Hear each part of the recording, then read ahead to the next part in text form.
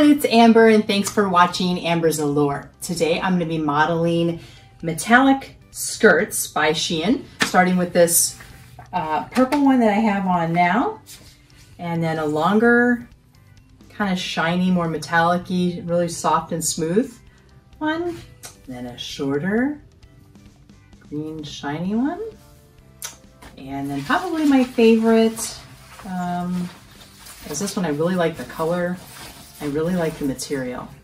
Okay, so I will leave my reviews at the end of the video. So please be sure to let me know what you think in the comments below. Thanks, bye.